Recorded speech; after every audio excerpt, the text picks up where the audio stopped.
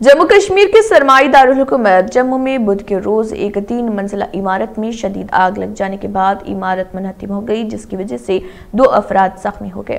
Fire and emergency service کے ایک افسر نے بتایا کہ علل صبح تقریباً پانچ بج کر پندرہ منٹ پر تالاب تلو علاقے کے گول پلی میں ایک لکڑی کے گودام میں آگ لگی۔ یہ آگ تیزی سے آس پاس رکھی ہوئی لکڑی میں پھیل گئی، جس کی وجہ سے گودام کی تین منزلہ عمارت بھی منہدم ہو گئی۔ عمارت کی گرنے سے فائر بریگیڈ کے دو اہلکاروں کو شدید چوٹیں آئی ہیں اور کچھ اہلکار اب بھی عمارت میں پھنسے ہوئے ہیں۔ اور کچھ اہلکار ابھی عمارت میں پھنسنے کے بعد اب تک فائر بریگیڈ کی دس گاڑیوں کو جائے واقع کی جانب روانہ کیا جا چکا ہے۔ اس سلسلے میں مزید تفصیلات کا انتظار ہے۔